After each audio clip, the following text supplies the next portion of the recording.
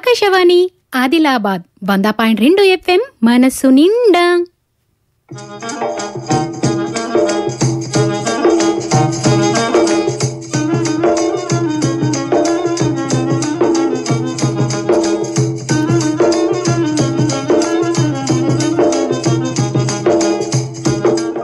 కిసాన్ వాణి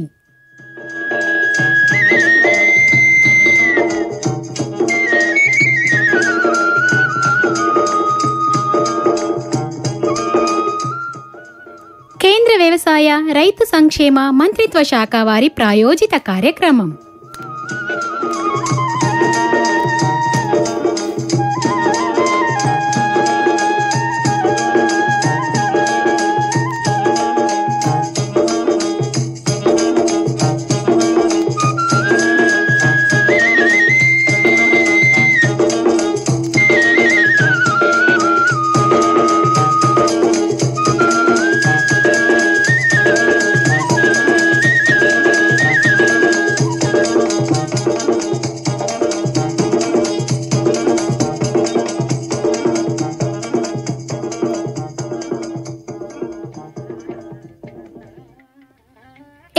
రకరకాల పంటలు పండించే రైతన్నలు విత్తనం పెట్టినప్పటి నుండైతే పంట మార్కెట్కు తరలించేదాకా అన్ని తీర్ల ముచ్చట్లను తన వ్యవసంలో వచ్చే అనేక రకాల ఇబ్బందులను ఆయా రంగాల శాస్త్రవేత్తల చేత సలహాలను సూచనలను ఇప్పించే కార్యక్రమమే కిసాన్ వాణి. కార్యక్రమంలో ఇయ్యాల మీకు రెండు ముచ్చట్లు వినిపిస్తా. ఒకటి ఔషధ మొక్కలు వాటి ఉపయోగాలు గురించి ఆదిలాబాద్ వ్యవసాయ కళాశాల ప్రొఫెసర్ డాక్టర్ కె. భానురేఖతో ముచ్చట. ముచ్చట పెట్టింది కె. లెనిన్. తర్వాత ముప్పై ఏండ్లుగా పాడి పరిశ్రమ నిర్వహిస్తున్న ఆదిలాబాద్ పట్టణం చింజర్వాడకు చెందిన చుక్కబొట్ల కమలతో ముచ్చట ముచ్చట పెట్టింది పి. అశోక్. వాతావరణ సూచన. జిల్లాలో వాతావరణం నిర్మలంగా ఉంది. అప్పుడప్పుడు మేఘావృతం అవుతుంది. గాలిగంటకు పది కిలోమీటర్ల వేగంతో వీస్తుంది. గాలిలో తేమ శాతం నలభై ఎనిమిది గాను గరిష్ట ఉష్ణోగ్రత ముప్పై రెండు డిగ్రీల సెల్సియస్ గాను ఉంది. కనిష్ట ఉష్ణోగ్రత పద్దెనిమిది డిగ్రీల సెల్సియస్గాను ఉంది. ఇంతకు మించి వాతావరణంలో చెప్పుకోదగ్గ మార్పులేమీ ఉండబోవు. వాతావరణ సూచన ఇన్నరు. మార్కెట్ ధరలు. ఇలా ఆదిలాబాద్లో మార్కెట్ ధరలు ఇలా ఉన్నాయి. పత్తి క్వింటాల్కు సీసీఐ ధర ఆరు వేల తొమ్మిది వందల ఇరవై గాను ప్రైవేట్ ద్వారా ఆరు వేల ఐదు వందల డెబ్బై గాను ఉంది. కిసాన్ వాణి కార్యక్రమంలో ఇప్పుడు విందాం. ఔషధ మొక్కలు వాటి ఉపయోగాలు గురించి ఆదిలాబాద్ వ్యవసాయ కళాశాల ప్రొఫెసర్ డాక్టర్ కె భానురేఖతో ముచ్చట ముచ్చట పెడతారు కె లెనిన్. మనిషి రోగనిరోధక శక్తిని పెంపొందించేందుకు అవసరమైన గుణాలన్నింటినో కలిగి ఆ గుణాల్ని అందించేది ఔషధ మొక్కలు. అట్లాంటి ఔషధ మొక్కల ప్రాముఖ్యత గురించి అవి ఏ రకంగా మన రోగ నిరోధక శక్తిని పెంపొందించడానికి ఉపయోగపడుతున్నది ఈ వివరాలను గురించి తెలియజేయడానికి ఇప్పుడు మనతో పాటు ఆదిలాబాద్ వ్యవసాయ కళాశాల ప్రొఫెసర్ డాక్టర్ కె భానురేఖ గారు ఉన్నారు వారిని అడిగి ఆ వివరాలు తెలుసుకుందాం. నమస్కారం భానురేఖ గారు. నమస్తే అండి. ముందుగల మా శ్రోతలకి ఈ ఔషధ మొక్కల ప్రాముఖ్యత గురించి చెప్పండి. మనకి సాధారణంగా దగ్గు జ్వరం జలుబు అనేవి మనం ఏంటంటే ప్రతి వాటికి కూడా కొంచెం మెడిసిన్స్ వాడడం అనేది ఎక్కువగా అయిపోయింది. ప్రత్యేకంగా చెప్పుకోవాలంటే మనకి కోవిడ్ నుండి కూడా ఎక్కువగా మనము అప్పుడు ఆన్లైన్ క్లాసెస్ అని లేకపోతే వర్క్ ఫ్రమ్ హోమ్ అని Hmm. ఈ విధంగా అందరూ కూడా ఇళ్ళకే పరిమితం అయిపోయి వేరే రకమైనవి అంటే ఈ ఊబకాయం అనేది తర్వాత మనకి రోగ నిరోధక శక్తి అనేది చాలా తగ్గి ఎక్కువ మెడిసిన్స్ మీద ఆధారపడడం అనేది బాగా పెరిగిపోయింది ఈ మెడిసిన్స్ వాడడం కూడా అంత మంచిది కాదు. ఎందుకంటే అవన్నీ మనకి లాస్ట్కి మనకి అవశేషాలు అనేవి కిడ్నీస్ కూడా Hmm. ఫిల్టర్ చేయడం కష్టం ఈ రోగ నిరోధక శక్తి అనేది మనకి పెంపొందించబడాలి అని అంటే తాజా పళ్ళల్లో గాని కూరగాయల్లో గాని అలాగే పెరట్లో పెంచుకునే చాలా ఔషధ మొక్కల్లో మనం డైరెక్ట్గా ఆకు రూపంలో గాని లేకపోతే కషాయం రూపంలో గాని తీసుకున్నప్పుడు. చాలా యాంటీ ఆక్సిడెంట్స్ లభిస్తాయి వీటి వల్ల మనకి సాధారణంగా వచ్చే ఏవైతే రుగ్మతలను మనం చెప్పుకున్నామో. వాటిని అరికట్టే శక్తి అనేది మన చేతిలోనే ఉంటుందన్నమాట అయితే సాధారణంగా ఔషధ మొక్కలు అంటే పెద్ద విశాలమైన స్థలము అటవీ అట్లాంటి పరిసరాలు అట్లాంటివి కాకుండా మన ఇంట్లో సులువుగా ఏదైతే ఇతరత్ర పూల మొక్కల్ని ఎలా పెంచుకుంటామో అట్లాగే ఈ ఔషధ మొక్కల్ని కూడా మనం మిద్దె పైన కానీ ఆవరణలో కానీ పెంచుకోవడానికి అనుకూలమైన అనువైన మొక్కలు ఏవేవి ఉన్నాయి వాటి గురించి చెప్తారా? ఇప్పుడు మనం చూసుకున్నట్టయితే మన గృహ పద్ధతి ఏదైనా గానీ సిటీస్లో అలాగే ఇక్కడ ఆదిలాబాద్లో కూడా చూస్తున్నాము.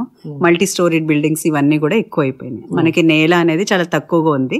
ఇలా మిద్దెల మీద గానీ లేకపోతే తొట్టెల్లో గానీ ఈజీగా వచ్చే చాలా ఔషధ మొక్కలు అనేవి ఉన్నాయండి. ఉమ్, వీటిల్లో మనము ముఖ్యంగా చెప్పుకోగలిగినవి ఏంటంటే కలబంద. మనం దీన్ని ఇంగ్లీష్లో అయితే అలోవెరా అంటాము. సో దాంట్లో ఒక రకమైన గుజ్జు లాంటిది ఉంటుంది అనమాట సో దీన్ని చాలా మంది ఇప్పుడు ఈ డయాబెటిక్ పేషెంట్స్ అయితే ఎవరైతే ఉన్నారో వాళ్ళు కొంచెం ఆ గుజ్జు పైన ఒకటి ఎల్లో కలర్ లా ఉంటది. అది రాకుండా తీసుకుని తినడం. అట్లానే రోగనిరోధక శక్తి కాకుండా సౌందర్య సాధనాలకి వాడుతున్నారు. అది వేరే విషయం అండి. మామూలుగా ఇది తీసుకోవడం వల్ల ఏంటంటే మనకి డయాబెటిక్స్ కానీ లేదా మనకి వేరే పరమైన ఒబెసిటీ కానీ బరువు అలాంటివన్నిటికి కూడా మనకి కంట్రోల్లో ఉంటాయి. ఉమ్. వీటితో పాటు మంచి యాంటీ ఆక్సిడెంట్స్ విటమిన్స్ కూడా ఉంటాయి అలాగే మనం తేనీరు టీ కాఫీ అనేవి చాలా సాధారణమైన బెవరేజెస్ అయిపోయాయి వాటి వల్ల కూడా కొన్ని దుష్పరిణామాలు ఉన్నాయి అలాగే మనము తేనేరు ఇప్పుడు అన్ని కూడా మనం చూస్తున్నాం గ్రీన్ టీ అని బ్లాక్ టీ అని బ్రౌన్ టీ అని రకరకాలు వచ్చినాయి. ఈ రెండు రకాల గడ్డి ఉంది మనకి నిమ్మ గడ్డి అని రుషా గడ్డి అని. ఇవి చాలా యాంటీ ఆక్సిడెంట్స్ కలిగి ఉంటాయండి సో వీటిని మనము ఈ ఆకుల్ని ఏవైతే ఉన్నాయో మనము మొక్కలుగా తొట్టెల్లో ఈజీగా పెంచుకోవచ్చు వీటిని. తక్కువ నీరుతోటి కూడా వచ్చేస్తాయి మనకి. వాటిని మనం తేనీరుగా వాటిని బాయిలింగ్ వాటర్లో వేసుకుని సేవించినప్పుడు మనకి పుష్కలంగా ఈ యాంటీ ఆక్సిడెంట్స్ అనేవి లభించడం. ఎస్పెషలీ మనకి ఈ ఊబకాయం అనేది తర్వాత దగ్గు శ్లేషం ఫ్లమ్ అని అంటాం. అవి బాగా తగ్గుతాయి. అందరికీ తెలిసిన తులసి. ప్రతి వాళ్ళ ఇంట్లో ఉంది తులసి అనేది. పరగడుపున అంటే మనం బ్రష్ చేసుకున్న వెంటనే గనక ఫ్రెష్గా అంటే ఏ మందులు పడవు గనక ఆకులను గనక నమిలి రసంతో పాటు వాటిని కూడా మనం సేవించవచ్చు లోపలికి. చేసినప్పుడు ఏంటంటే మనకి కడుపులో ఉండే ఏవైతే గ్యాసెస్ గానీ అవి తగ్గుతాయి. ప్లస్ మనకి కామన్గా చలికాలంలో వచ్చే దగ్గు శ్లేషము పొడి దగ్గు ఎస్పెషలీ తర్వాత ఊపిరి పీల్చుకోవడం అనేటప్పుడు మనకి బ్రాంకైటిస్ అంటాం. ఇలాంటివన్నిటిని కూడా చక్కగా నివారించబడతాయండి. చాలా రకాలు ఉన్నాయి మల్టీ విటమిన్ ప్లాంట్ అని ఉంది. అదేంటంటే సేమ్ మనకి చూడడానికి కరివేపాకు చెట్లా ఉంటది. మనం ఒక రెండు ఆకులు గాని మూడు ఆకులు గాని తీసుకుని వేసుకున్నట్టయితే మనకి చాలా రకాల విటమిన్స్ అనేవి. మనకి డైరెక్ట్గా చట్నీస్లో కూడా వాడుకోవచ్చు మనం. తినలేము మేము సాధారణంగా అంటే లైట్గా ఫ్రై చేసుకుని చేసుకోవచ్చు. ఇవన్నీ మనకి తెలిసినవే గానీ మళ్ళీ చాలా ప్రాచుర్యంలోకి వస్తున్నాయి కోవిడ్ దాటిన తర్వాత. ఇళ్ళల్లో గానీ మిద్దెల మీద కానీ చాలా ఈజీగా తక్కువ నీరుతోటి చాలా తక్కువ కేర్ కూడా అవసరం అండి వీటికి అలాగా కొన్ని ఇంకా కొన్ని రకాలు ఇంకో ముఖ్యమైనది ఇన్సులిన్ ప్లాంట్. ఈ ఇన్సులిన్ ప్లాంట్ ఏంటంటే మనకి రోజు పరగడుపున ఒక ఆకు అట్లా తినడం వల్ల ఏంటంటే బాడీలో ఉండే షుగర్ అనేది ఆ డయాబెటిక్ నేచర్ అనేది మనకి తగ్గడం అనేది జరుగుతుందని చాలా ప్రాచుర్యం పొందింది ఈ ఇన్సులిన్ ప్లాంట్. సో మనం పొందాలన్నా గానీ చాలా చోట్ల లభిస్తుంది నర్సరీల్లో వాటిల్లో. అట్లానే తిప్పతీగ పూర్వకాలం వాళ్ళందరికీ కూడా తెలుసు. ఉమ్, ఇది కూడా శ్వాసకోశ సంబంధమైన ఊపిరి పీల్చుకోవడం అనేది కానీ శ్లేషం ఫ్లమ్ అని అంటాం ఈ మధ్య త్వరగా మనకి చలికాలంలో శ్లేషం తర్వాత పొడి దగ్గు. ఏదైనా రాగానే మనం యాంటీబయాటిక్ వెళ్ళిపోతున్నాం. అట్లా కాకుండా వచ్చినప్పుడు కాకుండా రోజు కూడా చిన్న ఆకు అట్లా తీసుకున్నట్టయితే అంటే ఆటోమేటిక్గా మనకి ఈ యాంటీ ఆక్సిడెంట్స్ రోగ నిరోధక శక్తి అనేది పెరుగుతుంది. సో స్లోగా మనకి అవి రాకుండా కొంచెం కంట్రోల్లో పెట్టుకునే అవకాశం ఉంటుంది. అంటే డైరెక్ట్గా మనం ఆకు రూపంలోనో నవలడం ద్వారానో లేకపోతే ఆహారంలోనో తీసుకోవడం వల్ల వాటిలో ఉండే మంచి లక్షణాలు. మళ్ళీ మనం జాగ్రత్త ఏం తీసుకోవాలంటే బాగా డీప్ ఫ్రై చేసేసి ఉడికించేసినప్పుడు వీటి లక్షణాలు అనేవి కోల్పోతాయి. సో సాధారణంగా మనం ఫ్రెష్గా తీసుకుని నవలడం ద్వారానో డైరెక్ట్గా తీసుకోవడం ద్వారానో వాటి ఉపయోగాలు ఎక్కువ ఉంటాయి మనకి. అయితే ఇప్పుడు ఇన్ని రకాల ఔషధ మొక్కలు అంటే మనకి ఇంట్లోనే పెంచుకునేందుకు అనువైన అనుకూలంగా ఉన్నటువంటి ఔషధ మొక్కల గురించి చెప్పింది కదా. మరి ఈ ఔషధ మొక్కల్ని మనం వాడేటప్పుడు ఏ రకమైన జాగ్రత్తలు తీసుకోవాలా? వాటి గురించి కూడా చెప్తారు? ఇప్పుడు చాలా మంది ఏంటంటే ఒక పర్టికులర్ ప్రాబ్లం అనేది చాలా సివియర్గా అయిపోయింది అనుకోండి ఆ సివియర్గా అయిపోయిన తర్వాత అరే మందులన్నిటిని వాడకుండా వీటి మీదే మనం ఇవే తగ్గించేస్తాయి అనే అపోహలో ఉంటారండి. అది చాలా తప్పు. ముందుగా మనం గుర్తుంచుకోవాల్సింది అది. తర్వాత రెండోది ఏంటంటే ఇవి కేవలం మనకి. అంటే మామూలుగా రోగ నిరోధక శక్తిని పెంపొందించడానికి మైల్డ్గా ఉన్నప్పుడు సాధారణ వ్యక్తులకి ఏవైతే కామన్గా వస్తే వాటిని మనకి కొంచెం తగ్గించి రోగ నిరోధక శక్తి అనేది పెంపొందిస్తుంది. ఇంకా కొన్ని ఇందాక చెప్పుకున్నటువంటి ఇన్సులిన్ మొక్క అన్నాం. ఆ ఇన్సులిన్ మొక్క అయితే జనరల్గా మనము గర్భిణీలు తర్వాత బాలింతలు ఏదైతే పాలు తాగిచ్చే తల్లులు ఉంటారో వాళ్ళు వాడకూడదండి. అట్లాగే మనము ఇందాక చెప్పుకున్నాం అలోవెరా అని కలబంద ఎప్పుడైతే ఆ గుజ్జును సపరేట్ చేస్తుంటామో కట్ చేసిన వెంటనే మనకు ఒక ఎల్లో కలర్ పసుపు రంగు జిగురు లాంటిది వస్తుంటది అనమాట దాన్ని మాత్రం సపరేట్ చేసుకోవాలి. అది దాన్ని గనక మనం సేవించినట్టయితే కూడా అది ఒక రకమైన టాక్సిన్ అన్నమాట. సో జాగ్రత్తగా తెల్లటి గుజ్జుని మధ్య పదార్థాన్ని మాత్రమే తీసుకుని వాడుకోవాలి. ఇవి కాకుండా అండి ఇప్పుడు మనం చాలా ఆయుర్వేదిక్ షాప్స్లో ఇవన్నీ చూస్తున్నాం. జ్ఞాపక శక్తికి తర్వాత మనకి రోగ నిరోధక శక్తికి చమన్ ప్రాష్ ఇట్లాంటివన్నీ కూడా మనం చూసుకున్నట్లయితే చాలా కాస్ట్లీ ఉన్నాయండి. కోవిడ్ పీరియడ్లో మీరు నమ్మరు దాదాపు ఐదు వందల కోట్ల రూపాయలకి సంబంధించిన ఈ ఆయుర్వేదిక్ ప్రోడక్ట్స్ అనేవి వాడారంట త్రూ అవుట్ వరల్డ్ సో అలాగా మనకి కొంచెము మెమరీ పవర్ ఎక్కువగా కావాలి అంటే మనకి తెలిసింది సరస్వతి ఆకు అని అంటాం అనమాట దాంట్లో పిల్లలకి జనరల్గా కొంచెం మెమరీ పవర్ ఎక్కువ ఉంటుంది. తీసుకున్నప్పుడు ప్లస్ బాలింతల్లో కూడా రక్తహీనత. జనరల్గా డెలివరీ తర్వాత అది రక్తహీనత అనేది కామన్ దాన్ని కూడా తగ్గించే గుణం చర్మ వ్యాధులు. మనకి స్కిన్ డిసార్డర్స్ ఏవైతే ఉంటాయో ఆ లేపనంలా పూసినప్పుడు నరాల బలహీనత అనేది కూడా తగ్గించేది ఉంటుంది. Plus kidney stones. ఇప్పుడు కిడ్నీ స్టోన్స్ అనేది కొంతమంది అంటే ఒక స్టేజ్కి వెళ్ళిపోయిన తర్వాత అండి ఇవన్నిటి మీద ఆధారపడడం అనేది కష్టం. సో రణఫాల కొండపిండాకు అని అంటాము. అది తీసుకోవడం వల్ల కూడా ఏదైతే ఉందో అవి తగ్గుతాయి. రాళ్ళు అనేవి కిడ్నీస్లో కీళ్ళ వాతం కూడా తగ్గే అవకాశం ఉంటుంది మాచిపత్రి ఇట్లాంటివన్నీ కూడా మనకి చాలా ఈజీగా పెంచుకోవచ్చు. దీనికి పెద్ద ప్లేస్ అవసరం లేదు. ఎక్కువగా మనం రోజు వాటిని కేర్ తీసుకోవాల్సిన అంత అవసరం లేదు. ప్లస్ చీడపీడలు అనేవి కూడా చాలా తక్కువ అండి. ఇవి కాకుండా మనకి వాటి నుండి ఆయిల్స్ తులసి నుండి ఆయిల్స్ ఏవైతే ఉంటే మంచి ఎక్స్పోర్ట్ ఓరియంటేషన్ కూడా ఉంది. కాకపోతే మనం మార్కెటింగ్ ఒకటి చూసుకోవాలి ఎక్కువ ఏరియాలో వేసినప్పుడు. అదొక జాగ్రత్త తీసుకోవాలి. తర్వాత నల్లేరు వజ్రవల్లి అని అంటాం మనం. జనరల్గా యాక్సిడెంట్స్ అది అయిన తర్వాత బోన్ స్ట్రెంత్ అనేది బాగా తగ్గిపోతుంది. సో పాతకాలం నుండి కూడా ఇది బాగా ప్రాచుర్యంలో ఉంది. దీనికి ఏంటంటే బోన్ డెన్సిటీ. అంటే మనకి ఎముకల శక్తిని పెంచి పెంచడానికి దృఢత్వానికి ఆకు వాడతారు తర్వాత కొమ్మలా ఉంటది. చాలా నెమ్మదిగా వస్తుంది ఆకు. వీటిని వాడడం ప్లస్ దీనికి ఇంకా వేరే ఫలితాలు ఏంటంటే కొంచెం మనం ఇందాక చెప్పుకున్నట్టు దగ్గు తర్వాత శ్లేషం ఆ ఫ్లమ్ అనేది కూడా తగ్గించే లక్షణం కలిగి ఉంటుంది ఇప్పుడు చెప్పుకున్న మనం ఇవన్నీ కూడా వీటితో పాటు ఏమి మనం ఎక్కువ కేర్ లేకుండా ఆకువామ్ అని అంటాం. ఆకువామ్ బాగా మందంగా ఉంటది. ఇది గనక మనం మనకి ఫ్లమ్ స్టార్ట్ అవుతుంది దగ్గు స్టార్ట్ అవుతుంది అంటే వేడి నీళ్ళలో వేసుకుని మరిగించిన నీళ్ళని గనక తాగితే మనకి ఆ ఫ్లమ్ అనేది కూడా తొందరగా పోవడం ఎక్స్క్రీట్ అయిపోవడం తర్వాత జలుబుని కూడా తగ్గించే లక్షణం ఉంటుంది పరగడుపున సో మరి ఇన్ని ఉపయోగాలున్న వీటి గురించి మనం చెప్పుకున్నాము. చాలా ఈజీగా పెంచుకోవచ్చు అండి ఎవరైనా సరే చిన్న పిల్లలతో సహా తొట్టెల్లో వేసుకుని. నీళ్ళు వేసుకుని పెంచుకోవచ్చు అంతే. చాలా సంతోషం భానురేఖ గారు. ఇవాళ మన రోగ నిరోధక శక్తిని పెంపొందించడానికి ఉపయోగపడే ఎన్నో రకాల ఔషధ మొక్కలు. వాటి వల్ల ఏ రకమైన ప్రయోజనాలు ఉన్నాయి? ఒక్కో మొక్క ఎలాంటి గుణాన్ని కలిగి ఉన్నది? అది ఏ రకంగా మన రోగ నిరోధక శక్తిని పెంచడానికి పనికొస్తుందని సవివరంగా తెలియజేసిండ్రు. మరి ఏమాత్రం స్థలం ఉన్నా వాకిట్లో కానీ మేడపైన కానీ ఈ ఔషధ మొక్కల్ని పెంపొందించుకొని ఆరోగ్యాన్ని పరిరక్షించుకుంటారని ఈ ఔషధ మొక్కల ప్రయోజనాల్ని పొందుతారని ఆశిస్తూ ఈ చక్కని సమాచారాన్ని తెలియజేసినందుకు మీకు ధన్యవాదాలు నమస్కారం నమస్తే అండి ఇంతవరకు ఔషధ మొక్కలు వాటి ఉపయోగాల గురించి ఆదిలాబాద్ వ్యవసాయ కళాశాల ప్రొఫెసర్ డాక్టర్ కె భానురేఖతో కె లెనిన్ పెట్టిన ముచ్చట ఇన్నరు हर जोखिम से निकल कर फसल आए सुरक्षित हो जाए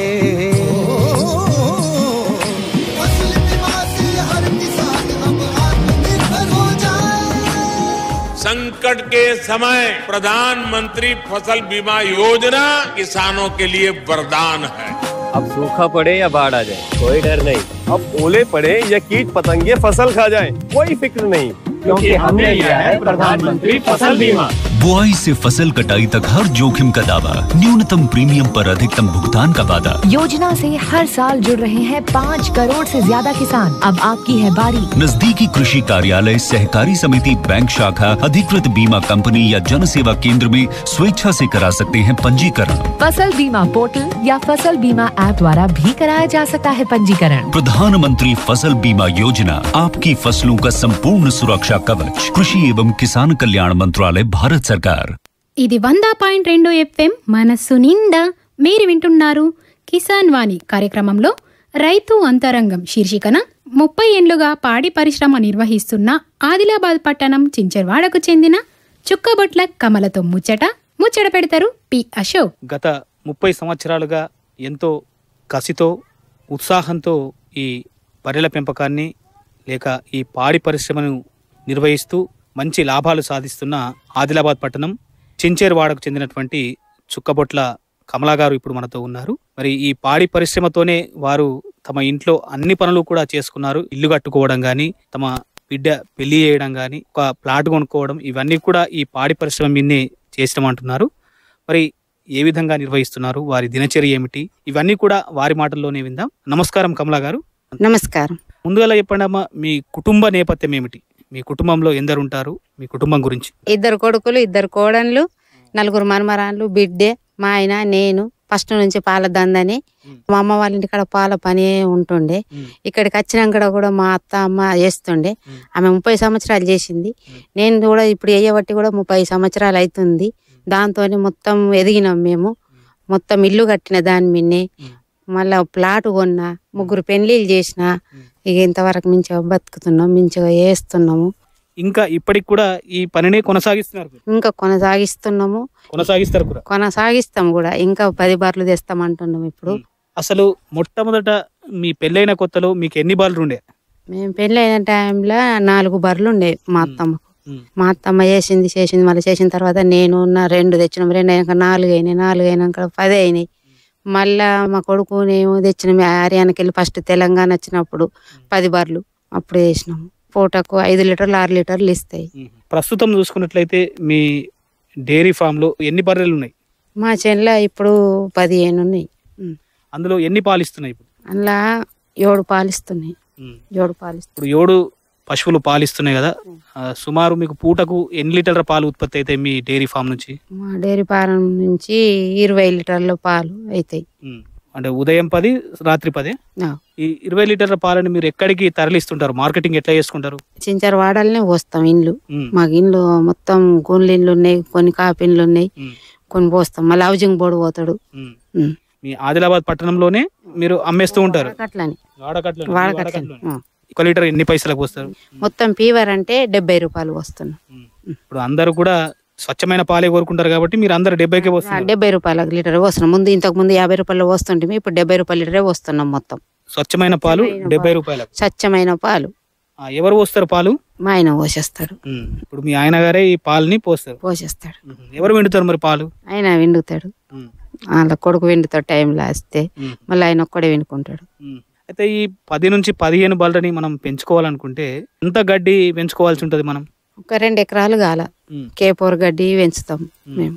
మళ్ళీ ఇంకా పక్కల సొప్పు వేస్తాము కుటారు పెడతాము శనగ కుటారు తెస్తాము. కేపోర్ గడ్డి రెండు పూటలు వేస్తాము. అంటే ఏది వేసినప్పుడల్లా అది ఇది సగం సగం వేసేస్తాము ఈ కుడిది పెడుతుంటారు కొందరు దానా పెడుతుంటారు మీరు అట్లాంటి ఏమైనా పెడతారా? కల్లి పెడతాము కుడిది పెడతాము. ఇప్పుడు మీ దగ్గర ఉన్నాయన్నీ కూడా బర్రెలు అవి ఏ రకం జాతి? అంటే ఏ జాతి? గౌరాని బర్రెలు అవి ఇప్పుడు ఉన్నాయి గౌరాని బర్రెలు. ఆ, మొత్తం గౌరాని బర్రెలు ఉన్నాయి ఇప్పుడు ఈ పది పదిహేను బర్రెలకు మీరే పని చేసుకుంటారా? మీరు ఇద్దరు భార్య భర్తలు ఇంకెవరైనా జీతగాలని ఇంత పెట్టుకుంటారా? మేమే వేసుకుంటాం ఇద్దరం వేసుకుంటాం మేము పదిహేను బర్రెలకు ఇద్దరం చేసుకుంటాం. ఇద్దరు సరిపోతారమ్మా ఆ, మేము ఇద్దరం చేసుకుంటాం. అంటే ఇద్దరు సరిపోరు అని అనుకుంటారు కొందరు వాళ్ళు. కానీ మేము కావాలని మేము ఇద్దరం చేసుకుంటాం ఇక. టైం తీసుకొనే తీసుకోం. మేము అస్తిమంటే పని చేసుకొనే చేసుకుంటాం ఇక.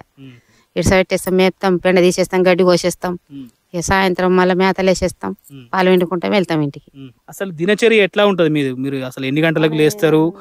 మళ్ళా ఏమేం పని ఉంటుంది ఈ బర్రెల పెంపకంలో? మీ దినచర్య గురించి అంటే పొద్దున ఇవ్వాలా చాయ్ వేసుకుంటాం తాగుతాం వస్తాం పాలు వండుకుంటాం మళ్ళీ పాలు పోసేస్తాం మళ్ళీ కుడి తీసుకొని వస్తాం కుడిదిలు పోసేస్తాం మళ్ళీ మేత వేస్తాం పిండి పెట్టేస్తాం అవి ఇట్లా బయటకు తీస్తాం. బయటకు తీసినాక ఇక మళ్ళీ సాయంత్రం వరకు వస్తాయి ఇక. సాయంత్రం తీసుకొని వచ్చినాక మళ్ళీ పని చాలే. మనం చూసుకున్నట్లయితే లోకల్ బర్రెలకు ఎక్క పని ఉంటుందా? ఈ బయట నుంచి తెచ్చే వేరే ఈ ముర్రా గానీ ఇంకా వేరే జాతి బర్రెలకు ఎక్క పని ఉంటుంది? మాకు దేనిదన్నా ఎక్కువ అనిపించదు అన్ని మాకు ఈజీ అనిపిస్తుంది చేసుకోవాలంటే అన్ని ఈజీగానే చేసుకుంటాం మేము ఇద్దరం.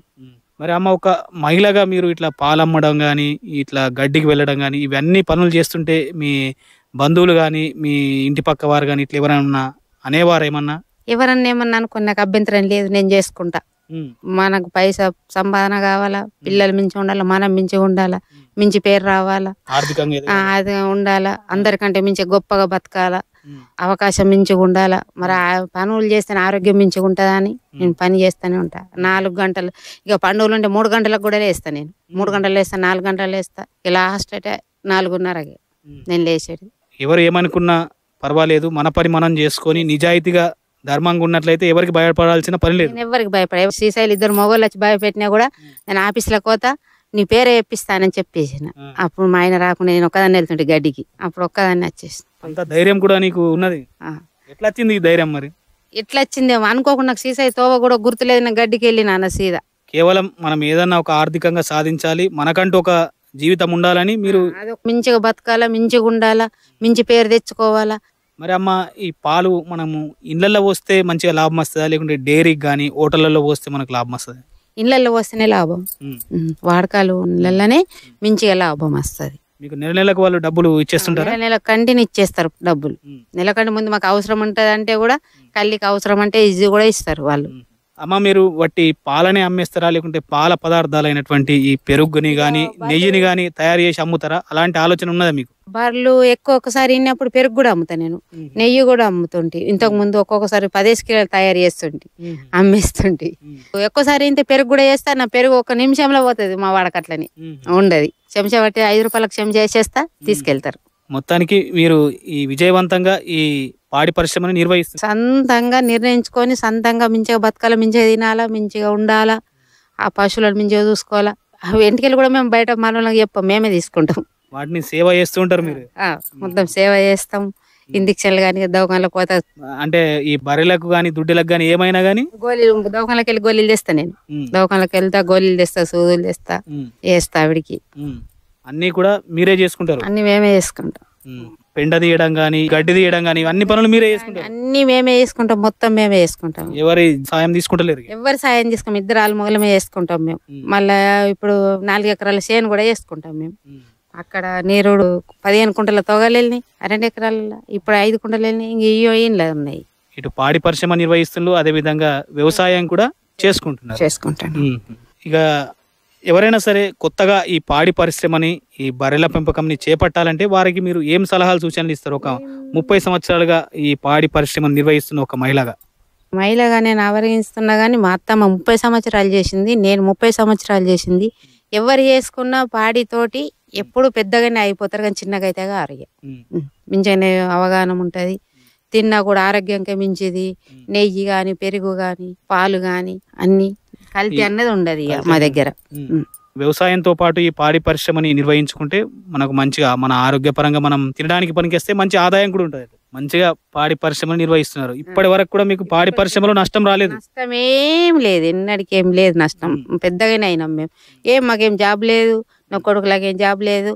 నాకేం జాబ్ లేదు. ఏమైనా పాలు పెరుగు పాలు పెరుగు అమ్మి ఇల్లు కట్టిన ముగ్గురు పెళ్ళిళ్ళు చేసిన ఒక పన్నెండు లక్షలకు ప్లాట్ కొన్నా మీ ధైర్యమే మిమ్మల్ని నడిపిస్తున్నది. నడిపిస్తున్నా నేను ముందాటికి ధైర్యమే. ఇంకా ఈ పాడి పరిశ్రమని ఏమన్నా పెంచే ఆలోచన ఉన్నది? ఇంకా బర్రెల సంఖ్య పెంచే ఆలోచన ఉన్నది? ఆలోచన ఉన్నది ఇప్పుడు తెచ్చేది ఉన్నది ఇంకా.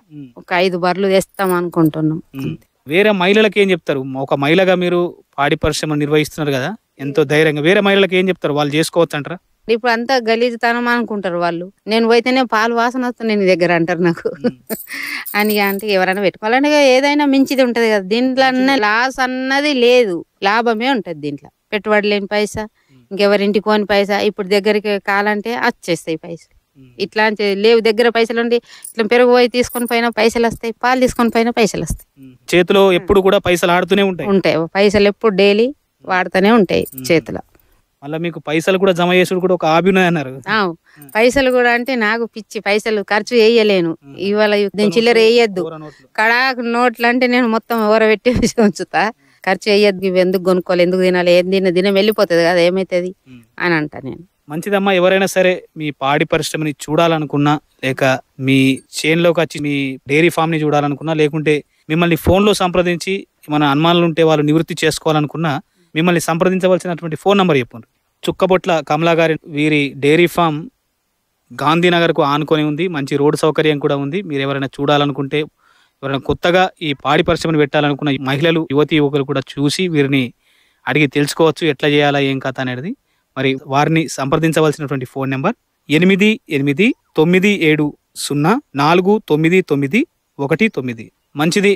కమలా గారు మరి మీరు ఎంతో విజయవంతంగా ఎంతో ధైర్యంతో ఈ పాడి పరిశ్రమ నిర్వహించి మంచి లాభాలు సాధిస్తున్నారు. మరి ఇలాగే మీరు మున్ముందు కూడా మంచి లాభాలు సాధించాలని ఆశిస్తూ మీరు నిర్వహిస్తున్నటువంటి ఈ పాడి పరిశ్రమ అనుభవాల్ని మాతో పంచుకున్నందుకు ధన్యవాదాలు. ధన్యవాదాలు.